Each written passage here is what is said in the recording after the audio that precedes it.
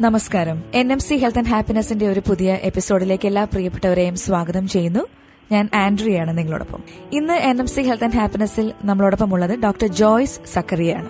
അദ്ദേഹം Abu Dhabi N M C speciality ഹോസ്പിറ്റലിലെ specialist E N ടിയും അതുപോലെ തന്നെ head of the department of E N ടിയുമാണ്.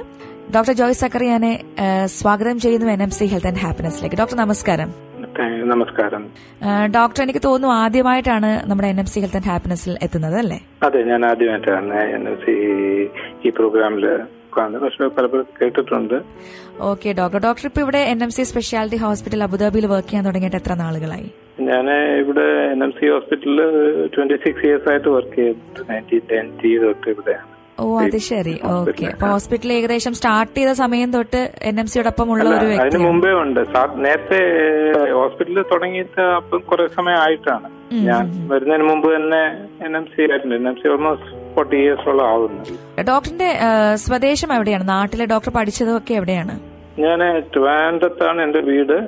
ട്രിവാൻഡ്രത്ത് M B B S Trivandrum medical കോളേജിൽ നിന്ന് കഴിഞ്ഞു. പി ജി ചെയ്ത മണിപ്പാലിലാണ്. ഓക്കെ അത് കഴിഞ്ഞ് തൃശ്ശൂർ മെഡിക്കൽ കോളേജിൽ ഒരു മൂന്നാൽ വർഷം വർക്ക് ചെയ്തിരുന്നു ഇ എൻ ടി ഡിപ്പാർട്ട്മെന്റിൽ അത് കഴിഞ്ഞ് പിന്നെ ഇവിടെ എൻ എം സിയിൽ ഓക്കെ ഡോക്ടർ. ഡോക്ടർ നമ്മുടെ ഇന്നത്തെ ടോപ്പിക് വേർട്ടിഗോ എന്നാണ്. അപ്പോൾ അതിനെക്കുറിച്ച് ഒരുപാട് കാര്യങ്ങൾ ചോദിച്ചറിയാനായിട്ടുണ്ട്. ആക്ച്വലി എന്താണ് ഈ വേർട്ടിഗോ അതൊരു രോഗമാണോ? അതൊരു രോഗാവസ്ഥയാണോ? ഈ വെർട്ടേഗോ എന്ന് പറയുന്നത് അല്ലെങ്കിൽ തലകറക്കം എന്ന് പറയുന്ന ഒരു സാധാരണ ഇ എൻ ടിയിൽ വരുന്ന ഒരു കംപ്ലൈന്റ് ആണ്. ഇത് പലരും ഒരു രോഗമായിട്ട് നമ്മളടുത്ത് പ്രസന്റ് ചെയ്യാറുണ്ട്. എനിക്ക് പ്രത്യേകമാണ് എന്ന അസുഖമാണെന്ന് ഡയഗ്നോസ് ചെയ്തു എന്ന് പറയും പക്ഷേ വെർട്ടേഗോ ഒരു അസുഖമല്ല. അത് ഒരു രോഗത്തിന്റെ ഒരു ലക്ഷണമാണ്. മറ്റേതെങ്കിലും ബോഡിയിലുള്ള ഒരു രോഗത്തിന്റെ ലക്ഷണമാണ് ഈ വെർട്ടേഗോ അഥവാ തലകറക്കം എന്ന് പറയുന്നത്. യൂഷ്വലി നമ്മൾ തലകറക്കം എന്ന് പറയുമ്പോൾ ഉദ്ദേശിക്കുന്നത് ഒരു വ്യക്തി സ്വയം കറങ്ങുകയോ അല്ലെങ്കിൽ പുള്ളിയുടെ പരിസരം കറങ്ങുന്നതായിട്ട് പുള്ളിക്ക് തോന്നുക. ഒരു ഫീലിംഗ് ആണ്. പ്രത്യേകം ഒരു ഫീലിംഗ് ആണ്. ഈ പിന്നെ ഞാൻ പറഞ്ഞ മാതിരി സ്വയം കറങ്ങുക അല്ലെങ്കിൽ പരിസരം കറങ്ങുന്നതായിട്ട് തോന്നുന്നു. ആ തോന്നലാണ് പ്രത്യേകം. പിന്നെ ഇത് കൂടാതെ ചില മറ്റു ചില കാര്യങ്ങളും മറ്റേ ഈ തലകറക്കം പേഷ്യൻസ് പ്രസന്റ് ചെയ്യാറുണ്ട്. ഈ നമ്മൾ കണ്ണിൽ ഇരുട്ട് കയറി കളർന്ന് വീഴുക ആഹാ. ഈ നടക്കുമ്പോൾ വേച്ചു പോവുക നമുക്ക് വളരെ തളർച്ച ക്ഷീണം തോന്നുന്നു ഇതിനെയെല്ലാം തലകറക്കമായിട്ടും ആൾക്കാര് വിശേഷിപ്പിക്കാറുണ്ട്. ഇതെല്ലാം തലകറക്കത്തിന്റെ കൂട്ടത്തിൽ വരുന്നതാണ്. അപ്പം നമ്മൾ പിന്നെ ഹിസ്റ്ററിയിൽ നിന്ന് ഇത് മനസ്സിലാക്കണം. ഇത് ഓരോന്നിനും പല കാരണങ്ങൾ കൊണ്ട് ഡിഫറെന്റ് കാരണങ്ങൾ കൊണ്ടാണ് ഇതെല്ലാം ഉണ്ടാകുന്നത്. ഡോക്ടർ എന്താണ് ശരിക്കും ഇപ്പൊ ഡോക്ടർ പറഞ്ഞല്ലോ? ഇപ്പൊ ഒരുപാട് മറ്റ് അസുഖങ്ങളുടെ ഒരു ലക്ഷണമാണ് ഈ തലകറക്ക് ഈ വേർട്ടിഗോ എന്ന് പറഞ്ഞല്ലോ. അപ്പോ തന്നെ എന്താണ് ഇതിന്റെ ഒരു മെയിൻ കോസസ് എന്തൊക്കെയാണ്? ഈ വെർട്ടിഗോ പല കാരണങ്ങളും ഉണ്ടാകാം. നമ്മൾ ഈ കാരണങ്ങൾ പറയുന്നതിന് മുമ്പ് ജസ്റ്റ് നമ്മുടെ ഒരു ബാലൻസ് സിസ്റ്റത്തെ പറ്റി ഒന്ന് ജസ്റ്റ് ചെറുതായിട്ട് ഞാൻ പറയാം. Okay doctor. നമ്മുടെ ബാലൻസ് സിസ്റ്റം മെയിൻ ആയിട്ട് സിസ്റ്റ് പിന്നെ എക്സിസ്റ്റ് ചെയ്യുന്നത് നമ്മുടെ ചെവിയുടെ ഉള്ളിലാണ്. ഈ വെസ്റ്റിബുലാർ അപ്പാരറ്റസ് എന്ന് പറഞ്ഞിട്ട് ഒരു സെൻസ് ഓർഗൻ ഉണ്ട്. അതാണ് നമ്മുടെ തലയുടെ ചെറിയ മൂവ്മെന്റ്സ് പൊസിഷന് എല്ലാം സെൻസ് ചെയ്തിട്ട് അത് നേരെ ബ്രെയിനിലേക്ക് അതിന്റെ ഇമ്പൾസ് അയക്കും. അപ്പൊ മെയിൻ ആയിട്ടുള്ള ബാലൻസ് പാർട്ട് ചെവിയാണ്. അതേമാതിരി കണ്ണിൽ നിന്നുള്ള ഇമ്പൾസസ് കണ്ണ് കണ്ണും ഒരു അനദർ സെൻസറി ഓർഗനാണ് ഈ ബാലൻസ് നിശ്ചയിക്കാൻ അതേമാതിരി വേറെ ബോഡിയിലുള്ള ജോയിൻസ് എന്ന് പറയുന്ന സെൻസേഷൻസ് ഉണ്ട്. പ്രോപ്രിയോസെപ്റ്റീവ് സെൻസേഷൻ ഇമ്പൾസസ് എന്ന് പറയും. പ്രോപ്രിയോസെപ്റ്റീവ് ഇമ്പൾസസ് എന്ന് പറയും. ഇതെല്ലാം നമുക്ക് ബ്രെയിനിലേക്ക് ഇമ്പൾസസ് അയച്ചുകൊണ്ടിരിക്കും നമ്മുടെ ബോഡി പൊസിഷനെ പറ്റി. എവിടെയാണ് നിൽക്കുന്നത് എന്താണ് ഏത് പൊസിഷനാണ് തിരിയുന്നുണ്ടോ അനങ്ങുന്നുണ്ടോ എന്നുള്ളത് അപ്പൊ ഇതെല്ലാം കൂടെ ബ്രെയിൻ ഏകോപിപ്പിക്കുക എന്നുള്ളതാണ് ബ്രെയിനിന്റെ ജോലി. എവിടെങ്കിലും ഈ പറഞ്ഞ ഓർഗൻസിൽ എവിടെങ്കിലും പ്രശ്നങ്ങൾ ഉണ്ടെങ്കിൽ നമുക്ക് തലചുറ്റായിട്ട് ഒരു രോഗിക്ക് അനുഭവപ്പെടും. കാര്യം അപ്പോൾ കൺഫ്യൂഷൻ ആണ് ഇതെന്താണ് നടക്കുന്നത് എന്നുള്ളത്. ഇപ്പൊ കണ്ണിൽ നിന്ന് ഒരു ഇതായിട്ട് സെൻസേഷൻ വരും. അപ്പൊ ചെവിയിൽ എന്തെങ്കിലും അസുഖം ഉണ്ടെങ്കിൽ അതുമായിട്ട് ഈ കണ്ണിൽ നിന്നുള്ള സെൻസേഷനുമായിട്ട് നമുക്ക് മാച്ച് ചെയ്യാതെ വരുമ്പോഴാണ് ഈ തലചുറ്റായിട്ട് നമുക്ക് ഫീൽ ചെയ്യുന്നത്. അതാണ് മെയിൻ കാരണം. അപ്പൊ പ്രധാന കാരണം ചെവിയാണ്. ഈ ചെവിയുടെ ഇന്നർ ഇയറിനകത്ത് നീർക്കെട്ടുണ്ടാവും അതാണ് യൂഷ്വലായിട്ട് ഉണ്ടാകുന്ന ഒരു കണ്ടീഷൻ. അതിന് മീനിയസ് ഡിസീസ് എന്ന് പറയും. ഈ നീർക്കെട്ട് ഇടയ്ക്ക് വരും. അപ്പൊ ഫ്ലൂയിഡിന്റെ എമൗണ്ട് കൂടും. അപ്പൊ അതാണ് ആ കൂടുന്ന സമയത്ത് തലചുറ്റൊക്കെ വരാം. പിന്നെ ചിലർക്ക് ഈ ചെവിയുടെ ഉള്ളിൽ ഈ ഫ്ലൂയിഡിനകത്ത് ക്രിസ്റ്റൽസ് ഉണ്ടാകും അത് ഇങ്ങനെ ഫ്ലോട്ട് ചെയ്ത് കിടന്നാൽ ചില പൊസിഷനിൽ ഉണ്ടാകും. അതിന് പെറോക്സിസ്മൽ പൊസിഷണൽ വെർട്ടേഗോ എന്ന് പറയും. അത് സാധാരണ ചെവി കാണുന്ന യൂഷ്വൽ കോസ് ഇത് രണ്ടുമാണ്. പിന്നെ ചെവിയിലെ രക്തോട്ടം കുറയുക. ഇൻഫെക്ഷൻസ് ഉണ്ടാവുക എന്തെങ്കിലും അത് ട്യൂമേഴ്സ് ഒക്കെ ചെവിയിലെ ആ ഭാഗത്തൊക്കെ വരുവാണെങ്കിലും ഇതേമാതിരി തലയിട്ടുണ്ടാവാം പിന്നെ ഈ ജനറൽ ആയിട്ടുള്ള രക്തോട്ടം കുറയുന്ന പ്രശ്നങ്ങൾ ബ്ലഡ് ബ്രെയിനിലോട്ടുള്ള ബ്ലഡ് ഫ്ലോ കുറഞ്ഞാൽ അതായത് ഈ ഷുഗർ ബ്ലഡ് പ്രഷർ ഉള്ളവർക്ക് ഹൈ കൊളസ്ട്രോൾ ഈ ഹീമോഗ്ലോബിൻ കുറവ് ഇങ്ങനെയൊക്കെയുള്ള പ്രശ്നമുള്ളവർക്ക് ബ്രെയിനിലോട്ടൊന്നും ശരിക്കും ഓക്സിജൻ എത്തില്ല. അതുകൊണ്ട് തലയിട്ട് വരാം.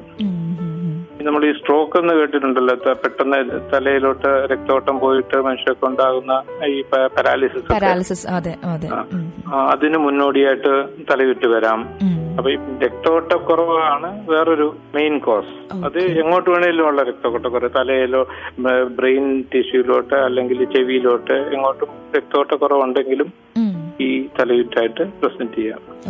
പിന്നെ റയറായിട്ടുള്ള ചില കണ്ടീഷൻസ് ഈ കഴുത്തിൽ സ്പോണ്ടിലോസിസ് ഉണ്ട്. മൈഗ്രെയിൻ പറയുന്ന ഒരു തലവേദനയുണ്ട്. എല്ലാവർക്കും പൊടിഞ്ഞി കിട്ടിയിട്ടുണ്ടല്ലോ കുറച്ച് കൂടിയ വേദനയാണല്ലോ മൈഗ്രെയിന്റെ ആ മൈഗ്രെയിൻ എന്ന് പറയുന്നത് സീരിയസ് അല്ല പക്ഷെ ഒരു കൂടെ കൂടെ വരാവുന്ന ഒരു തലവേദനയാണ് പലർക്കും ഉണ്ടാകാറുണ്ട് ഈ മൈഗ്രെയിൻ തലവേദനയാണ് യൂഷ്വലി പക്ഷെ ചിലർക്ക് ചില സമയത്ത് തലയുറ്റായിട്ടും പ്രസന്റ് ചെയ്യാറുണ്ട്. അപ്പം ഇതൊക്കെ ഉണ്ടാ തലയിട്ടുണ്ടാക്കാവുന്ന ചില കാരണങ്ങളാണ്. പിന്നെ സീരിയസ് ആയിട്ടുള്ള ഇഷ്യൂ ഈ ബ്രെയിൻ ചില ബ്രെയിൻ ട്യൂമേഴ്സ്. ഓക്കെ ആ. ട്യൂമേഴ്സിനകത്ത് ചിലര് തലയുറ്റായിട്ടായിരിക്കും നമ്മുടെ അടുത്തൊക്കെ ആദ്യം പ്രസന്റ് ചെയ്യുന്നത് അപ്പം അടി- അടുപ്പിച്ചടുപ്പിച്ച് തലയിട്ട് വരിക വളരെ തലയിട്ട് വരുന്നവർക്കൊക്കെ ഈ ട്യൂമേഴ്സ് നമ്മൾ എക്സ്ക്ലൂഡ് ചെയ്യേണ്ട ആവശ്യമുണ്ട്. അപ്പൊ അത് നമ്മൾ ഒരു എം ആർ ഐ ഒക്കെ ചെയ്ത് അങ്ങനെ ട്യൂമറോ അങ്ങനെ മേജർ കോസസോ എല്ലാം ഉണ്ടോ എന്ന് എക്സ്ക്ലൂഡ് ചെയ്യും. സാധാരണ തലയുറ്റൊക്കെ മറ്റേ ഞാൻ പറഞ്ഞ മറ്റേ സിമ്പിൾ കാര്യങ്ങളാണ്.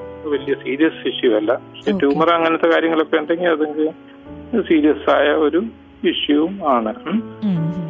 പിന്നെ ഇത് കൂടാതെ ചിലർക്ക് ഇപ്പം നമ്മുടെ മെന്റൽ സ്ട്രെയിന് സ്ട്രെസ് അല്ലെ അല്ല ഇതൊക്കെയും ആ പീരീഡിലും ചെറിയ തലയുറ്റ് എനിക്ക് വെച്ച് പോകുന്നു. നടക്കുമ്പോൾ ഒരു ബാലൻസ് ഇല്ലാതൊക്കെ പോകുന്നു. ഓക്കെ. ആ തോന്നാറുണ്ട്. ഇതൊക്കെയാണ് സാധാരണ ഏഹ്, തലയുറ്റിനുണ്ട് കോമൺ കോസസ് നമ്മൾ പറയാറുണ്ട്. ഓക്കെ. ഡോക്ടർ ഇതിപ്പോ ഈ വേർട്ടിഗോ ഇപ്പൊ ഈ തലകറക്കം ഉള്ള കാര്യങ്ങളൊക്കെ കൂടുതലായിട്ടും ഏത് പ്രായക്കാരിലാണ് കണ്ടുവരുന്നത്? ഇത് സാധാരണ നമ്മൾ തലയിട്ടുണ്ടാകുന്ന നാൽപ്പത് വയസ്സിനും മിഡിൽ ഏജ് നാൽപ്പത് വയസ്സും ആൻഡ് എബവിലാണ് കാണാവുന്നത്. പ്രായമുള്ളവരിലാണ് വളരെ കൂടുതൽ ഇത് ഉണ്ടാകുന്നത്. പക്ഷെ ചിലപ്പം ചെറിയ പ്രായക്കാർക്കും ഉണ്ടാകാറുണ്ട്. സ്ട്രിക്റ്റ് ആയിട്ട് ഇല്ല. മെയിനായിട്ട് കൂടുതലും നാൽപ്പത് വയസ്സിന് മേലെയാണ് ഇത് ഉണ്ടാകുന്നത്. ചിലപ്പോൾ ചെറിയ കൊച്ചു കുട്ടികളും ചിലപ്പം തലയിട്ടെന്നൊക്കെ പറഞ്ഞു വരാറുണ്ട്. ചിലപ്പോൾ ഇവർ തലവേദനയൊക്കെ കുട്ടികൾ തലയിട്ടെന്നൊക്കെ അവർക്ക് അവരുടെ രീതിയിൽ എക്സ്പ്രസ് ചെയ്യുന്നത് കൊണ്ട് പറയാറുണ്ട്. പിന്നെ റയറായിട്ട് പിള്ളേരിലും തലയിട്ടൊക്കെ ഉണ്ടാകാറുണ്ട്. പിന്നെ സ്ത്രീകളിലാണ് വേറെ പുരുഷന്മാരെക്കാളിലും കൂടുതൽ സ്ത്രീകളിലാണ് തലയിട്ട് കാണുന്നത്. ഓക്കെ അതെന്താ ഡോക്ടർ അങ്ങനെ ലേഡീസിൽ കൂടുതലായിട്ട് കാണുന്നത്? അങ്ങനെ പ്രത്യേകിച്ച് റീസൺ ഒന്നുമില്ല പിന്നെ ഹോർമോൺ ചേഞ്ചസ് കൊണ്ടൊക്കെ ചിലർക്ക് തലയിട്ടൊക്കെ വരാം. പിന്നെ ഈ പല ഈ ഞാൻ മേളിൽ പറഞ്ഞ അസുഖങ്ങളിലെ ചില അസുഖങ്ങളൊക്കെ മിനിയസ് ഡിസീസ് ഒക്കെ സാധാരണ സ്ത്രീകളിലാണ് കാണുന്നത്. അതിന് പ്രത്യേകിച്ച് അങ്ങനെ റീസൺ ആയിട്ടൊന്നും ഇല്ല. പിന്നെ ചെറിയ ബുദ്ധിമുട്ടൊക്കെ സ്ത്രീകൾ കൂടുതലായിട്ട് സെൻസിറ്റീവ് ആയിട്ട് എളുപ്പം പറയുന്ന അതും ഒരു റീസൺ ആവാം ആണുങ്ങൾ കുറച്ചുകൂടെ ചെറിയ ചെറിയ കാര്യമൊന്നും വലിയ വിടുന്നതുകൊണ്ടും ആവാം. എന്തായാലും സ്ത്രീകളിലാണ് ഇത് സിംറ്റം കൂടുതലായിട്ട് നമ്മൾ കണ്ടുവരുന്നത്. ഓക്കെ ഡോക്ടർ ഡോക്ടർ ജോയ്സ് സക്കറിയാണ് ഇപ്പോൾ നമ്മളോടൊപ്പം N M C health and ഹാപ്പിനെസ്സിലുള്ളത് അദ്ദേഹം വേർട്ടിഗോ എന്ന ആ ഒരു രോഗാവസ്ഥയെ കുറിച്ചാണ് നമ്മളോട് സംസാരിച്ചുകൊണ്ടിരിക്കുന്നത്.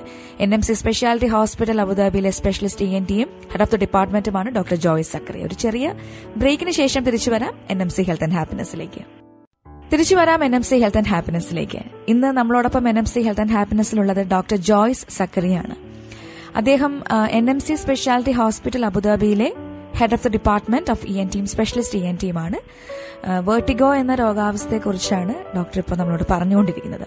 അപ്പോൾ ഡോക്ടർ ഇപ്പോൾ വേർട്ടിഗോ എന്താണെന്ന് നമുക്ക് വിശദമാക്കി തന്നു. അതുപോലെ തന്നെ അതിന്റെ കാരണങ്ങളെക്കുറിച്ച് പറഞ്ഞു. ഏത് ഏജ് ഗ്രൂപ്പിലുള്ളവർക്കാണ് കൂടുതലും ഈ ഒരു പ്രശ്നം കാണുന്നത്? ഇതിനെക്കുറിച്ചൊക്കെ ഡോക്ടർ പറഞ്ഞു കഴിഞ്ഞു. ഡോക്ടർ അപ്പോൾ തന്നെ എനിക്കുള്ളൊരു സംശയം എന്ന് പറയുമ്പോൾ ഒരു തല തലകറക്കം ഉണ്ടാവുന്നു. ഡോക്ടർ പറഞ്ഞ പോലെ നമുക്ക് തോന്നുകയാണ് ഇപ്പോൾ ഒരു ബാലൻസ് നമുക്ക് നഷ്ടപ്പെടുന്നു എന്ന് തോന്നുന്നു. എപ്പോഴാണ് ഒരു വ്യക്തി ഡോക്ടറെ വന്ന് കാണേണ്ടിയിരിക്കുന്നത്? ഈ തലചുറ്റുണ്ടെങ്കിൽ എന്തെങ്കിലും ഡോക്ടർമാരെ കാണണം. ചിലപ്പം ഇതിന്റെ സിവിയറിറ്റി അനുസരിച്ച് നല്ല തെളിയിച്ചാണെങ്കിൽ ഛർദിലൊക്കെ ഉണ്ടാവും. അന്നേരം ഇമീഡിയറ്റ് ആയിട്ട് എമർജൻസിയിലോട്ട് പോകേണ്ടി വരും. അല്ലാതുള്ള തലയിട്ട് ഇത് നമ്മൾ ഞാൻ പറഞ്ഞ നേരത്തെ പറഞ്ഞ കാരണങ്ങൾ പറഞ്ഞതിൽ ചെവിയിലെ പ്രശ്നമാണ് കൂടുതലായിട്ടും ഈ തലയിട്ടിന്റെ കാരണം. സോ അതുകൊണ്ട് ആദ്യം ഈ തലയിട്ടുള്ളത് ഒരു ഇ എൻ ടി ഡോക്ടറെ കാണിക്കുന്നതാണ്. നല്ലത്. എന്നുവെച്ചാൽ ഈ ഇ എൻ പ്രശ്നങ്ങളാണ് കൂടുതലായിട്ടുണ്ട്.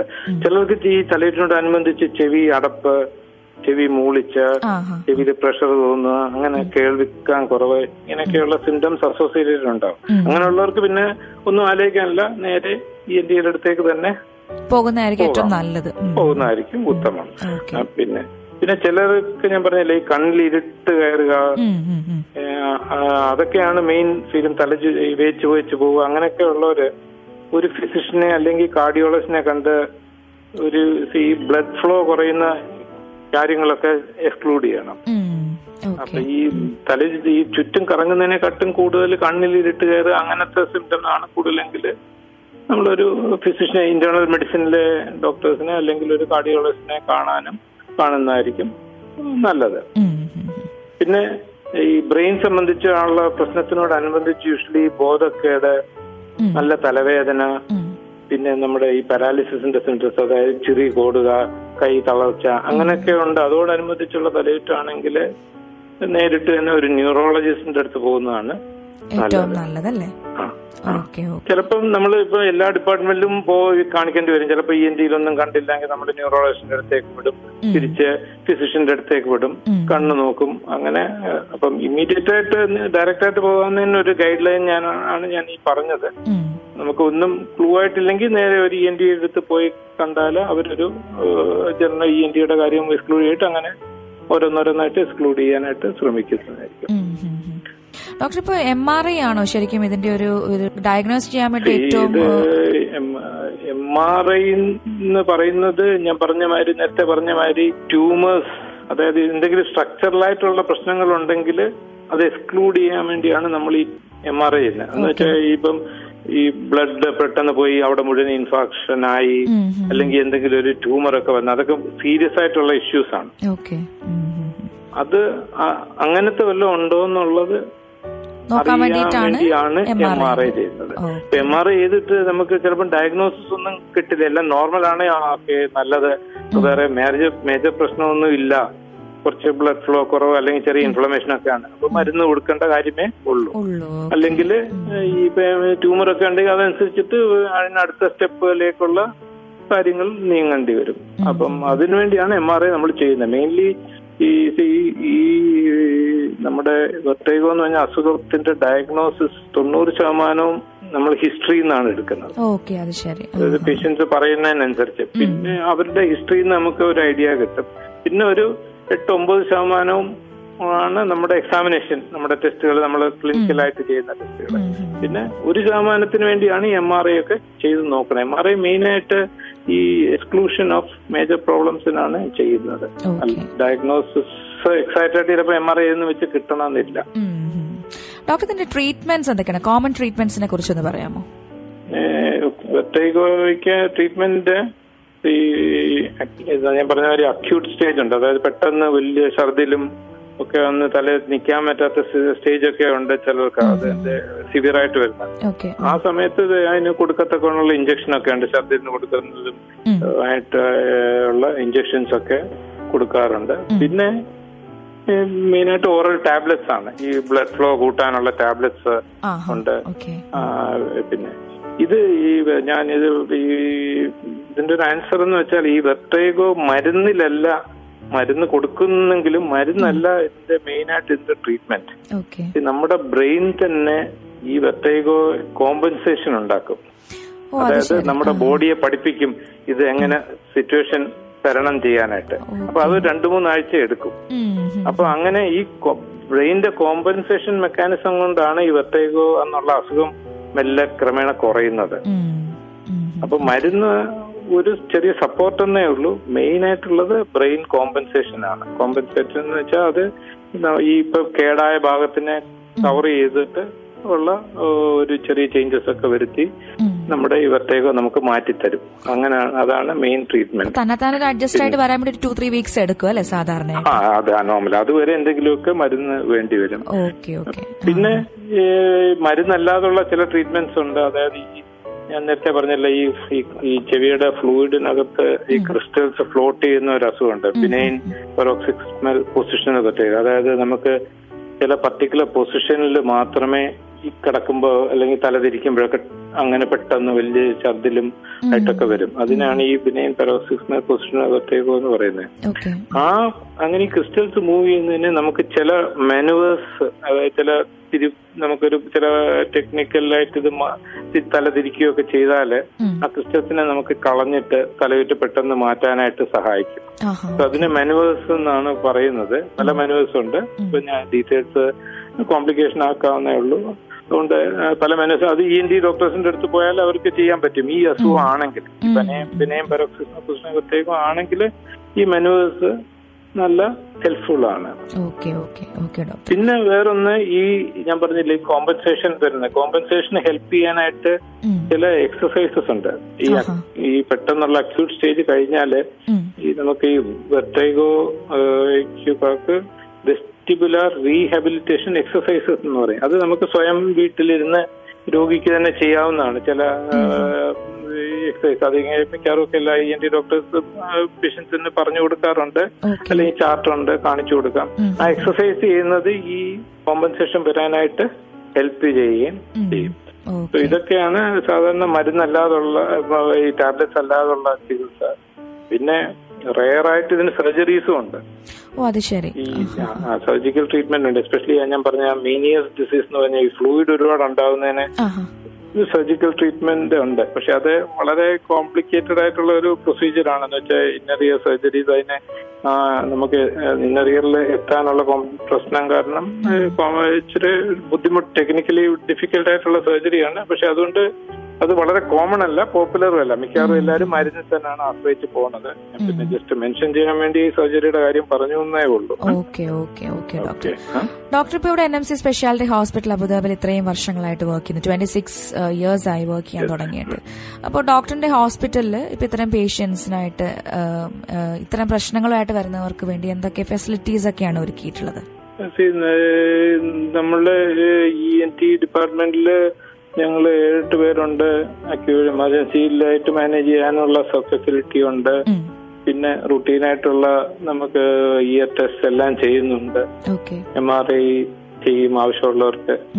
പിന്നെ ചില നമ്മുടെ ഇ എൻ ടി പ്രശ്നങ്ങളൊക്കെ എല്ലാം നോർമൽ ആണെങ്കിൽ വി ഹാവ് ന്യൂറോളജിസ്റ്റ് അങ്ങനെ ന്യൂറോളജിസ്റ്റിലും എല്ലാം ഒരു ഫുള്ളി കോംപ്രിഹെൻസീവ് കെയർ ഉള്ള ഫെസിലിറ്റിയാണ് N M C hospital okay doctor thank you so much N M C health and happiness wind up ചെയ്യാനുള്ള സമയമായിരിക്കുകയാണ്. അപ്പോൾ N M C health and ഹാപ്പിനെസ്സിൽ വന്ന് വേട്ടുകയെക്കുറിച്ചും എന്തൊക്കെ കാര്യങ്ങളാണ് നമ്മൾ ശ്രദ്ധിക്കേണ്ടത് അതിന്റെ ട്രീറ്റ്മെന്റ്സ് ഇതിനെക്കുറിച്ചൊക്കെ ഡോക്ടർ വളരെ വിശദമായിട്ട് തന്നെ പറഞ്ഞു തന്നതിന് ഒരുപാട് താങ്ക്സ് എനിക്ക് ഇങ്ങനെ ഒരു അവസരം തന്നതിനായിട്ട് വളരെ നന്ദി. Thank you very much doctor Joyce സക്രിയാണ് ഇതുവരെ N M C health and ഹാപ്പിനെസ്സിലൂടെ നമ്മളോട് സംസാരിച്ചത്.